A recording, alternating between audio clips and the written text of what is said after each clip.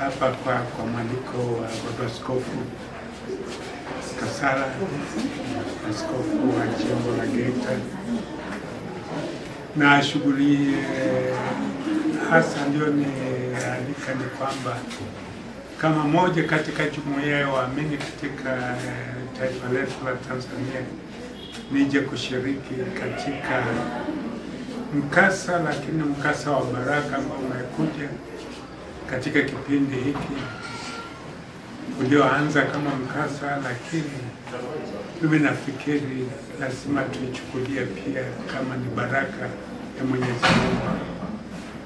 Tukio la namna hiyo haliwezi likatokea e, bila mkono wa Mwenyezi Mungu, na Mwenyezi Mungu atakuwa na sababu yake. Nimechukua nafasi hiyo hiyo pia ku, ya, kupitia kule Chato kwenda kutoa heshima zangu kwa kaburi la yeye aliyezoea kuniita mimi baba yake, lakini mimi nilipenda zaidi kumwita rafiki yangu eh, John Pombe Magufuli. Mekwenda, sikuweza kufika wakati ule wa mazishi yake, kwa sababu hali yangu ya afya ilikuwa si nzuri, na nilipokazana sana kujaribu kufika kwa mazishi, niliambiwa tuna madaktari kwamba sasa wewe unataka tuiletea msiba juu ya msiba, afadhali utuepushe na hilo.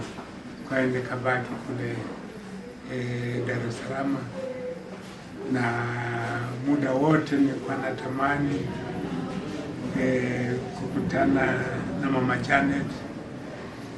Nilikutana naye mara baada ya kifo cha John, lakini nilimwahidi kwamba siku moja nitafika walau kutoa heshima zangu kwa kaburi lake Choma, na leo nimefanikiwa kwa sababu mambo mawili yameunganika kwa namna pekee. Ndio maana nilisema jambo lililotokea kama janga, kama mkasa mkubwa, lakini imekuwa ni chimbuko la baraka, na mimi nafikiri itaendelea kwa chimbuko la baraka e, zaidi na zaidi kadri tunavyolichukua sisi wenyewe waamini na watu wote waliona mapenzi mema.